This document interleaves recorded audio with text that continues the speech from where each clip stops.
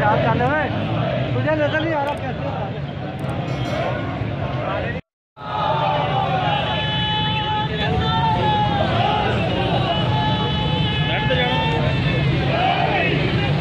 कैसे रेड पे पहले ही ना मानी